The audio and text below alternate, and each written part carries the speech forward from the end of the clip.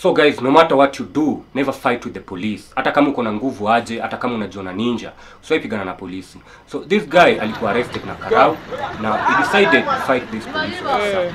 Unfortunately, the police officer didn't fight back. But now amewekelea kwamba alikuwa na sword, alikuwa amebeba panga hapo kwa gari and alikuwa anataka kumaliza huyo Karau. Now you see, a case like this, this guy will go away for a very long time because when you are armed and you are trying to assault a police officer will go away for a very long time. So sometimes hata si tumekolidingi ama karau usiku unapata tu unatembea vizuri karau anakushika. But the best thing to do ni unashuka tu chini unacheki ingia tu na yeye poa. Kama anataka do mpatie mwachane tu hapo unacheki una avoid tu mingi.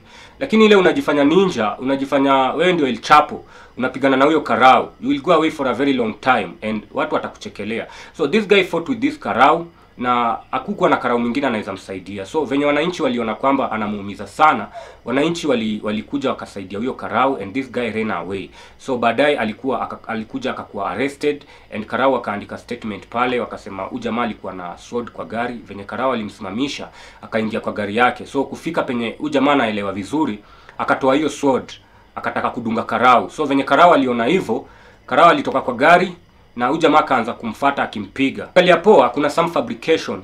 Kwa hii story imefanyika. As much as huyu jamaa alifanya vibaya kufight na Ukarau, karau i don't think this guy alikuwa na sword kwa gari alitaka kudunga huyo karau. So guys what do you think? Do you think huyu jamaa alikuwa na sword ama anawekelewa ndio waende ndani for a very long time